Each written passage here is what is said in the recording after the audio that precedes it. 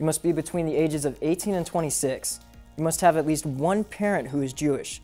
And you must self-identify with the Jewish faith. Nearly two dozen people came out to John McCain's office here in Tucson to give him this letter. Like your labs or Nopal, most startups are software-based, whether it's through a click or a tap. Founders of these young ventures aim to have their product as easily accessible as possible. The family put up this roadside memorial, but just days later, graffiti artist trashes. The family wants to know why. Tucson Mayor Jonathan Rothschild and partnering organizations began working back in June to end veteran homelessness, an effort coordinated by the Obama administration. With the Boston bombing finally resolved, many people are looking to relieve some of the tension from this emotional week here at the Pima County Fair. But Vail and surrounding areas did receive a light coating of snow, a phenomenon not often seen by local residents. This may seem like a large area behind me, but compared to Rillito Park, this is a significantly smaller space.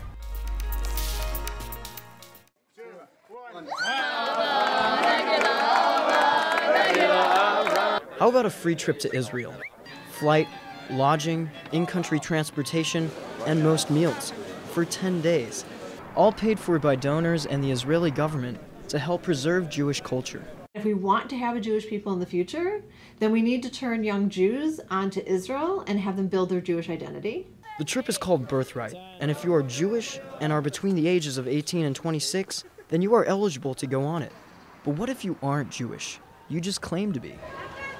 So I think that when it gets down to it, it's really about the honor system. This means that any young adult, Jewish or not, could potentially lie their way through the mild vetting process and get a free $3,000 trip around Israel.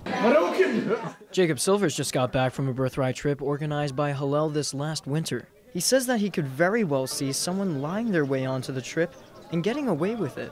My friends asked me, you know, how hard would it be for me to get on the trip? One of them has a first name of Christian, and I said, well, if you told them you were Jewish, you could probably go, even though your first name's Christian. But I told him the trip wasn't for him and that he wouldn't like it, so that he wouldn't try. Despite this not so secret loophole, officials don't believe the system requires a change. I guess let's presume in the hundreds of thousands of students who have participated, someone out there didn't tell the truth and landed up in Israel, but I think the system works pretty well. Reporting for Arizona Cat's Eye, I'm Max Efrein.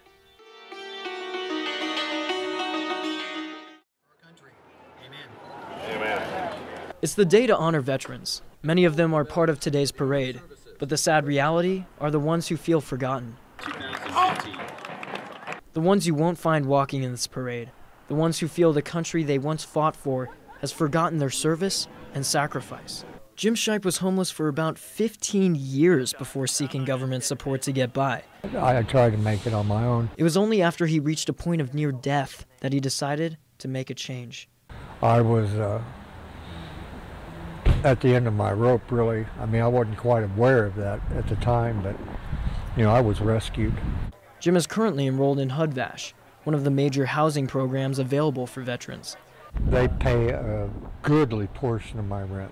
Programs like HUD-VASH are currently being pushed by Tucson officials on many levels. Tucson Mayor Jonathan Rothschild and partnering organizations began working back in June to end veteran homelessness, an effort coordinated by the Obama administration.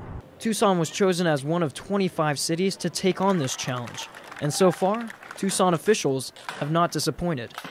We had a 100 day challenge to house 208 veterans in the first 100 days. We housed 223 plus their families. City officials will need to house more than 1,400 more veterans by December 2015 to meet the president's challenge, a feat that VA Representative Jennifer Phillips believes is achievable. We have had VASH vouchers available. We have beds in all of our programs available. So I think that's a very realistic goal. Shipe, on the other hand, will only believe it when he sees it. It might be possible, but, you know, that's a lot of people.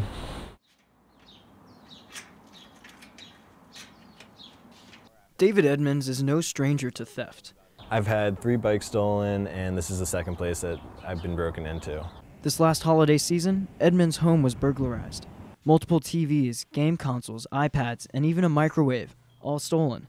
So none of it was insured, so we, we lost, like you said, thousands of dollars worth of stuff in total. The burglar got in through this window. which Edmonds found open when he got back from his trip. This screen was popped out, and this window uh, behind it was ajar. Even if you're going to be gone for a short period of time, lock your doors, lock your windows. You know, sometimes these crimes are crimes of opportunities. But that wasn't the end of it. The day after he returned, what he suspects was the same robber came back for more. I heard uh, the front door open. Edmonds went to go see what it was and saw a man wearing a hoodie and face mask standing in his front room. And as soon as I encountered him, I yelled at him and told him to get out of my house. And he immediately turned around, went out the front door, and booked it west down 6th Street. This is Riley Brennan. He was a victim of theft as well two years ago when his TV was stolen. About 18 months later, though, the thief got caught trying to pawn the TV, and Brennan got it back. I had given up hope. I think I, I, after about two or three weeks after it had been stolen, I just thought it was gone, you know. And then totally out of the blue, a year and a half later, I was able to get it back. Police say the best thing you can do to protect yourself is to make your home look lived in at all times and to install a security system. For Arizona Cat's Eye, I'm Max Efrein.